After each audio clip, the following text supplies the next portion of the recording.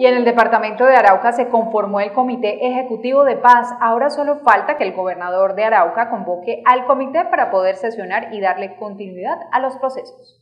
Luego de la instalación del Consejo Departamental de Paz, ahora se creó el Comité Ejecutivo de Paz en el Departamento de Arauca. La Administración Departamental de Arauca seguirá trabajando estos procesos. El pasado 6 de junio se instaló y se juramentó el Consejo Departamental de Paz por parte del señor gobernador, quien es el que lo preside por, la, por el decreto y por la ley que lo, lo creó. Em, se hizo todo el proceso, eh, se creó el comité ejecutivo, se, se trabajó el viernes en el plan de acción, en, las, en lo que se va a desarrollar a corto, a mediano y a largo plazo y todos estamos ya a la expectativa de que este Consejo Departamental comience a cumplir sus funciones. El asesor de paz de la Gobernación de Arauca dio a conocer cómo funcionaría el Comité Ejecutivo de Paz del departamento. ¿Cuáles son las funciones? Ser gestor, facilitador, eh, motivador, gestionador de todo lo que tenga que ver con lo relacionado con la paz.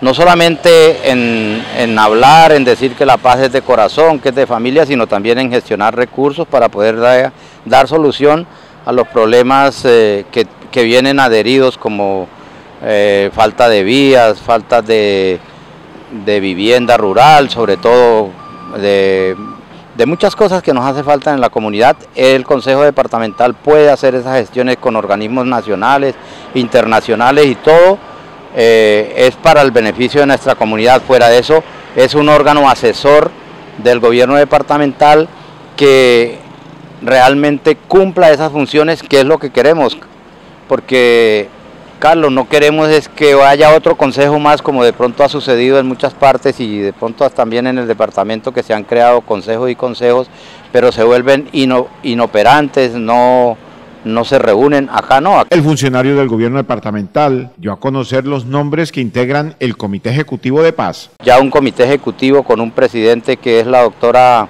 Astrid López del municipio de Arauquita, que es la presidenta del de la plataforma de juvenil, quien fue elegida presidente del comité ejecutivo y a través de este comité Nini, Nini Joana Soto, que es la eh, Cardoso, perdón, que es la delegada del, del Consejo Nacional de Paz, quedó de vicepresidente y el secretario técnico por parte de la sociedad civil es un joven del municipio de, de Saravena, pues entre todos y el gobierno departamental hay que desarrollar las acciones para las cuales fue creado. Se espera la primera reunión del Comité Ejecutivo de Paz que sea convocada por el gobernador del departamento de Arauca, Ricardo Alvarado. Ya estamos a la espera de la primera reunión del Comité Ejecutivo con el señor gobernador. De pronto esta semana, pues por la agenda que el doctor tiene con la venida del señor presidente mañana Atame y los problemas de orden público que se han venido acrecentando lastimosamente en nuestro departamento.